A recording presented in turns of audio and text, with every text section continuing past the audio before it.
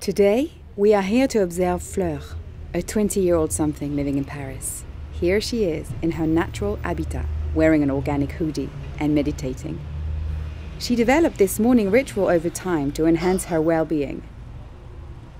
Stretching is an important part of her routine that allows her to keep her physique in tip top shape.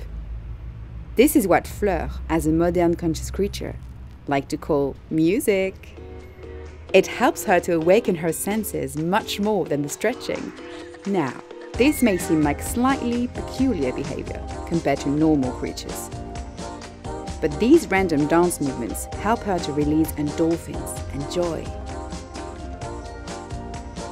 Oh, she has not made her way to the kitchen to get some food. Hélas, she has realized that DIY shampoo is not the nourishment she desired. That's much better.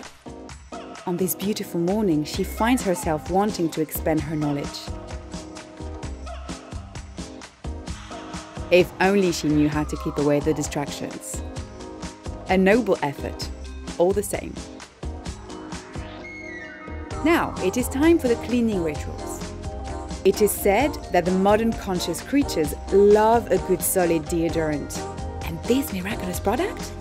An all natural refillable toothpaste, curiously named NOICE.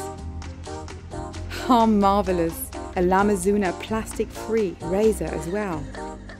To quote the great poet of these times, Chris J., Shorty don't need no man, only ethical diamonds from Courbet. Without goodness, beauty means nothing.